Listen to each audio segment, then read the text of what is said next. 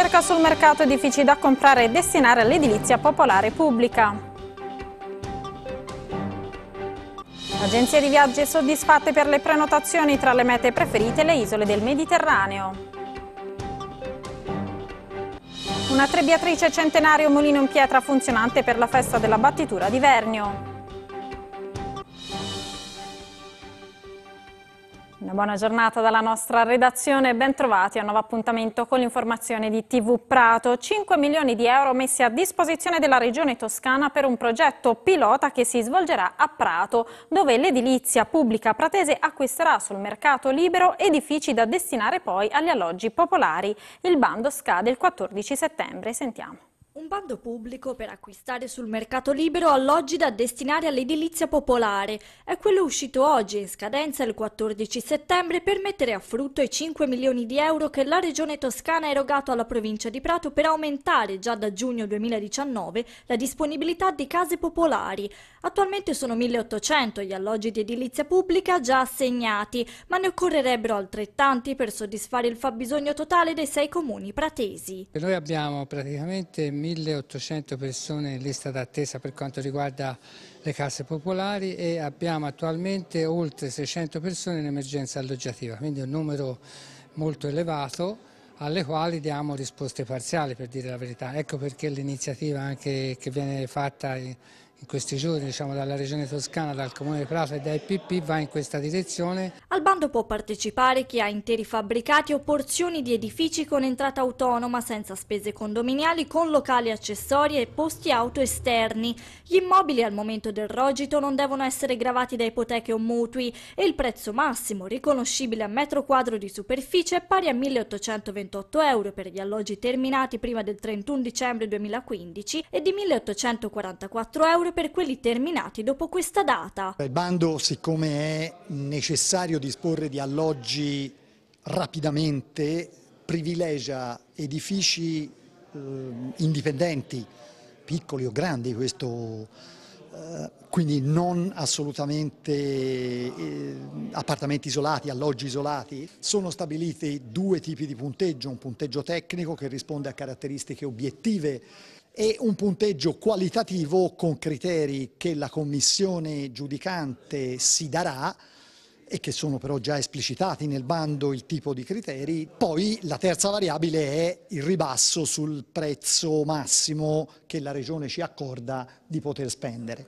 Si possono mettere a disposizione anche edifici da terminare a patto che i lavori non richiedano più di sei mesi di tempo. Lavori al di sopra dei 40.000 euro e spese notarili sono a carico dell'offerente. L'iniziativa si propone di tamponare due problemi annosi. Da una parte la carenza di case popolari, dall'altra la presenza sul territorio di edifici per varie ragioni non portati a termine, veri e propri scheletri che spesso diventano bombe a orologeria del degrado sociale, basti pensare all'ex valore di Via Filzi. Purtroppo nel corso del tempo l'edilizia è stata delle, dei settori più di ogni altro ha sofferto la crisi, eh, probabilmente quello che ancora, il settore che è ancora dentro ha una fase di difficoltà per quanto i dati diciamo, sugli acquisti di nuovi immobili, delle, delle case stiano dando qualche segnale di movimento ma ancora in grande difficoltà.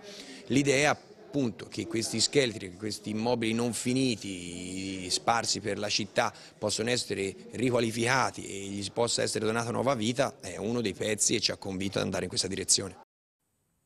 Un uomo di 60 anni si è infortunato cadendo nei boschi sopra Gavigno. L'incidente è avvenuto ieri mattina verso le 11 in una zona impervia inaccessibile con i mezzi di soccorso. Sul posto sono intervenute due squadre dei vigili del fuoco e la misericordia di Vaiano inviata dal 118. L'uomo che nella caduta si è procurato la frattura di una caviglia è stato recuperato con la tavola spinale ed è stato poi trasportato fino alla strada principale per essere trasferito in ambulanza all'ospedale Santo Stefano di Prato. Agosto, tempo di vacanze. Tra le scelte più gettonate dei pratesi per l'estate 2018 il bacino del Mediterraneo con una netta prevalenza per le isole greche, spagnole, le mete italiane ma anche l'America e l'Oriente. Sentiamo. Mediterraneo con l'Italia in testa, seguono poi la Grecia e la Spagna, ma non mancano le mete lontane come l'America, l'Oriente e il Nord Europa e poi ancora le crociere. Sono le scelte più gettonate dei pratesi per l'estate 2018. Dati delle agenzie di viaggi del territorio alla mano, il trend anche quest'anno sembra essere positivo, grazie alle tante offerte presenti per tutti i gusti e tutte le tasche. I pratesi vanno in vacanza e sinceramente si stanno muovendo tutti, chi per tempo, chi un po' all'ultimo minuto come tutte le stagioni e scelgono destinazioni tra le più disparate perché si passa dall'Oriente con eh, Bali, con il Giappone, qualcuno la Thailandia che viene sempre riproposta tutti gli anni a mete più vicine nel Mediterraneo, la Grecia sicuramente quest'anno spopola, ma devo dire anche l'Italia che tutti gli anni ci dà delle belle soddisfazioni e poi chiaramente l'America non manca mai. L'area caraibica è sempre molto molto amata dai pratesi e dagli italiani in generale. Ci sono viaggi per tutte le tasche, quelli più lunghi sinceramente chiaramente hanno voli più lunghi, tempi più lunghi di soggiorno e quindi hanno dei prezzi più alti rispetto a un Mediterraneo.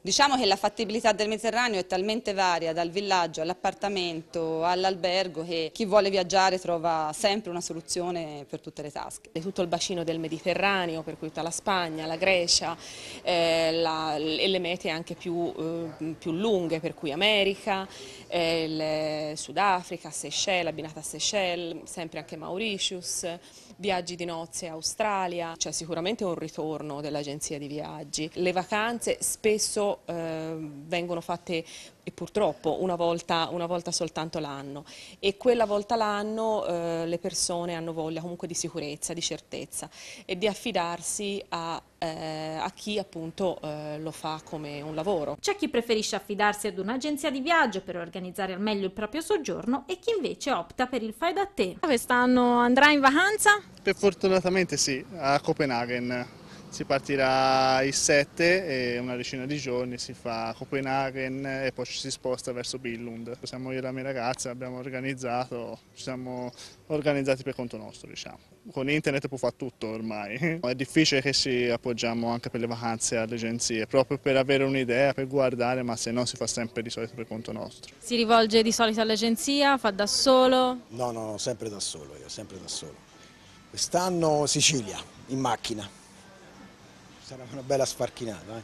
Quindi insomma cambia comunque tutti gli anni? Sì, sì, sì, sì. di solito andavo a San Vincenzo, e si sta bene a San Vincenzo, però quest'anno non sapevo di luglio, agosto, allora agosto Sicilia. Estra SPA ha acquisito il 12% di Ecolat SRL, la società attiva nel settore dei servizi ambientali nel ciclo dei rifiuti in Toscana, titolare di un impianto di selezione e trattamento dei rifiuti provenienti dalle raccolte differenziate multimateriale dei comuni nelle province di Grosseto, Arezzo, Prato e Firenze. L'acquisizione consente ad Estra di entrare per la prima volta nell'attività di gestione del ciclo integrato dei rifiuti, ritenuta strategica per la crescita e il rafforzamento del gruppo nell'ottica in misura crescente di ruolo di multi-utility. E ci spostiamo in provincia, sono esposte tra Vernio e Montepiano 50 opere di cinque maestri del Novecento che segnarono con la loro presenza una stagione di grande vivacità culturale nella Val di Bisenzio. Sentiamo. C'è una stagione eccezionale in cui Montepiano e la Val di Bisenzio diventano punto di riferimento, luogo di vita ed incontro di un gruppo di protagonisti della grande arte del Novecento. È la stagione degli artisti, raccontata dalla collettiva evento dell'estate 2018, inaugurata sabato scorso all'Oratorio dei Bardi, Esposte tra Vernio e Montepiano 50 opere di cinque artisti che segnarono con la loro presenza una stagione di grande vivacità culturale nella Val di Bisenzio. Con la mostra estiva consueta che il Comune organizza tutti gli anni abbiamo proprio voluto omaggiare un gruppo di artisti che ha soggiornato, villeggiato e vissuto a Montepiano eh, probabilmente i momenti più intensi e più importanti della loro carriera. E si tratta di, primo fra tutti ovviamente Bruno Saetti che acquistò il Mulino del Sole e ne fece la sua residenza d'arte prediletta, il maestro Breddo, Burattin e il maestro Bertacchini che veniva da, da Bologna, da Dozza, proprio in, in, villeggiatura a Montepiano con la famiglia e che eh, aveva avuto modo di, di, rappresentare i luoghi più belli della vallata proprio nella, nella sua arte. E poi in conclusione Virgilio Mazzetti che ha avuto i Natali proprio nella frazione di Montepiano alla Badia. Quindi eh, un omaggio a questi cinque artisti, un omaggio alla frazione di Montepiano e alle ispirazioni artistiche che ha saputo dare. La mostra, promossa dal Comune di Vernio in collaborazione con l'Associazione Terrena e con le famiglie degli artisti, si snoda tra Vernio e Montepiano con gli allestimenti dell'Oratorio di San Nicolò, della Galleria di Palazzo Bardi di San Quirico di Vernio e quelli del ristorante Il Ponte e della Cappella delle Suore Carmelitane a Montepiano. La stagione degli artisti, memorie e visioni di Bertacchini, Breddo, Burattin, Mazzetti e Saetti resterà aperta fino al 12 settembre. Una trebbiatrice dei primi del Novecento e un antico mulino a pietra ancora funzionanti sono stati i protagonisti della quarta festa della battitura che si è svolta lo scorso fine settimana a Vernio. Una manifestazione giunta alla quarta edizione per far conoscere e rinnovare un'antica tradizione contadina, la festa della battitura è tornata lo scorso weekend nella piazza del comune a San Quirico di Vernio, organizzata dal Circolo Stella Rossa in collaborazione con aziende agricole del territorio valvisentino. Protagonista della battitura del grano, una bellissima macchina terbiatrice dei primi del Novecento, a cui quest'anno si è aggiunto un antico mulino a pietra funzionante. Abbiamo portato un mulino a pietra per far vedere la macinatura di grano una macchina che, ci, che è stata data dal, dal Museo Casa Derci di Grezzano a Lugo di Mugello e l'abbiamo rimontata con l'occasione per far vedere eh, la macinatura di grano veramente a pietra come era una volta. Alla buona riuscita della manifestazione hanno collaborato diversi agricoltori e allevatori. Sono contento che molti giovani si sono riavvicinati a queste antiche tradizioni. Eh, finito, la finito, la battitura, il Circolo Arci ha organizzato un pranzo una volta a base di papero in umido. Le ricette toscane hanno caratterizzato i pranzi in piazza. Per il pane è stata usata la farina macinata al mulino dei Fossi di Vernio, uno dei pochi mulini in pietra della zona ancora funzionanti. Come sempre, ora di due o tre anni ci si ritrova qui a Vernio per fare questa battitura semplice tra amici, ci si mette un po' di passione, insomma va, e tutto, e tutto, e tutto procede bene. Ed è al momento delle previsioni del tempo, ci colleghiamo con la sala meteo del Consorzio Lama per tutti gli aggiornamenti del caso, guardate. Saluto a tutti, lo vediamo dalle immagini da satellite, alta pressione in deciso rinforzo sul Mediterraneo centro-occidentale, temperature in progressivo aumento a partire dalla giornata di oggi. Ecco la previsione per il pomeriggio, cielo prevalentemente poco nuvoloso, qualche temporale atteso sull'Appennino tosco-emiliano e sulle Apuane, con venti di brezza fino a moderati di maestrale sulla costa centro-meridionale. Uno sguardo a quello che ci attende domani, cielo prevalentemente sereno in mattinata, qualche addensamento nel pomeriggio soprattutto sui rilievi e temperature in ulteriore lieve aumento, punte massime fino a 36-38 gradi nelle zone interne di pianura. Bene, è tutto, vi ringrazio dell'attenzione e vi auguro una buona giornata. E questa era l'ultima notizia, il telegiornale termina qui, il prossimo appuntamento con l'informazione di TV Prato è per questa sera alle 20.30. Grazie per averci seguito, arrivederci.